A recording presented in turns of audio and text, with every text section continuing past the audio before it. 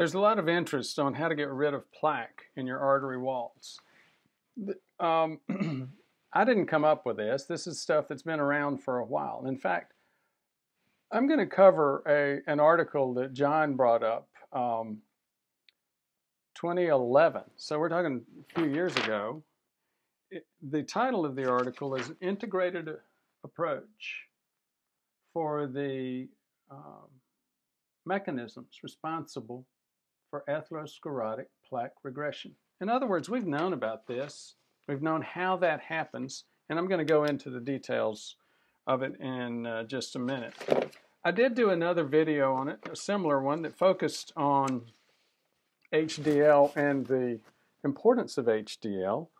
Um, as with many of the videos, I mentioned diabetes. Let me draw a connection here.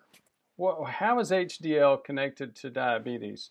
You may remember in, a, in another video we said that the triglyceride over HDL ratio is one way that we find out just by looking at someone's blood studies um, their, whether or not they have insulin resistance. Why does that happen? Well, triglycerides uh, elevate in a hyperinsulin state and HDL decreases. Um, why is that? Insulin stops fat burning or triglycerides and it creates a lot of uh, buildup of different fats. That buildup of fats is burned up by HDL in terms of um, trying to get those fats out of there. We're going to talk more about how HDL does that uh, in the uh, video today. First, a brief introduction. Uh, my name is Ford Brewer, F-O-R-D, Brewer, B-R-E-W-E-R. And again, thank you to uh, my viewers, to uh, David Ivers, who raised the question, what is the mechanism for um, pulling LDL out of the artery wall between the media and intima? And thanks again, as always, to John Lorscheider, who uh, did a lot of the research. Uh, John originally suggested this, uh, this citation. It's a great article. Very simple. Um, uh, image. I've used it many times to try to remember that um, LDL is what lays down plaque in the arteries. HDL is what pulls it out. So, what is HDL and LDL? We talked about that uh, several times. There are the proteins that keep uh, fat from forming blobs in the bloodstream. HDL is the one that pulls fat away from arteries to the liver so the liver can metabolize and burn that fat up. So you want to have a lot of HDL um, available to do that. So I'm going to go over a couple of basics in the um, in this image, and I'll put the uh, the article itself in um, in the notes on the on the uh, page below. Now, just to orient you here, this is a schematic. It's obviously not anatomically correct, but here's a couple of points so you'll be able to uh, navigate through this. This is the endothelium, that lining of the artery wall. Uh, this is plaque. And this is, a, again, a, uh, a schematic showing how mostly HDL impacts uh, and pulls uh, LDL out of plaque. So, HDL originally starts as what we call ApoA1. Do you remember that? We've done videos on that, ApoA1 and ApoB1, Apo, or ApoB. ApoB is the bad part of the LDL uh, molecule, and ApoA1 is the good part of the HDL molecule. It's made in the liver and also in the intestine. Um,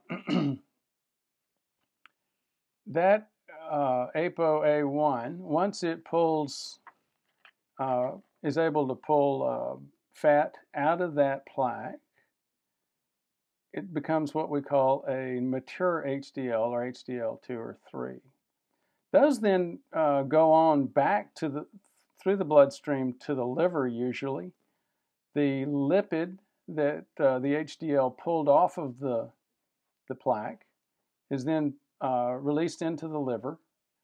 And unfortunately, the, uh, that ApoA1 gets degraded often by the kidney, or it can get uh, put back into the circulation. So that's the basic uh, life cycle of an ApoA1 or HDL uh, uh, particle. there are a couple of other things in this diagram you may be wondering about. For example, what is this? Um, this is where, when you have plaque, you'll get uh, denuding and loss of these endothelial cells. Um, those, when you start getting regression, you're getting HDL pulling plaque, uh, plaque out of the artery wall, those cells can regrow. They will often, the endothelial cells will often grow over and form a patch in the bare spot, or even you'll get um, uh, bone marrow cells that come in and repopulate this area and patch that over. Um, another thing to think about is mast cells, the, you know, the immune cells that attack plaque. Uh, those immune cells will also uh, begin to regress, pull back, and quit trying to digest this plaque. These cells, these are supposed to be the um, the muscle cell, smooth muscle cell walls, or smooth muscle cells in that uh, media wall, those will actually start regressing as well. So let me go through and just actually read the, a couple of the uh, first components out of this article uh, to give you some perspective on it. Again, it's an integrated approach for the mechanisms responsible for atherosclerotic plaque regression, A. A. Francis and Grant Pierce, uh, Experimental and Clinical Cardiology. Atherosclerosis was originally considered to be an ongoing process that was inevitably associated with age. However, plaques are highly dynamic. They're able to progress, stabilize, or regress depending on their surrounding milieu. Uh, his term, not mine. A great deal of research attention has been focused on understanding the involvement of high density lipoproteins on atherosclerotic plaque regression. However, uh, plaque regression encompasses a variety of processes that can be grouped into three main ones. Uh, removal of the lipids and necrotic material. Remember, I mentioned in my uh, an earlier statement a term autophagy. It's related. It's not exactly the same. Autophagy is more of a cellular um, cellular version of this removal of necrotic or dead uh, uh, material. So that's item number one, removal of dead material. Number two, restoration of endothelial function. And you remember we talked about that a few minutes ago when we were saying even if the endothelium cannot form patches uh, on itself, it's, if it's that big of a hole, um, cells can come in from the bone marrow to form patches in the endothelium.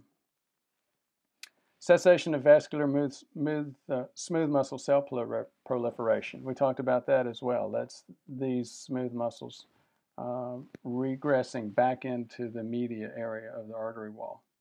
In addition, the HDL is involved in lipid removal. So again, the major big item there is HDL or lipid removal.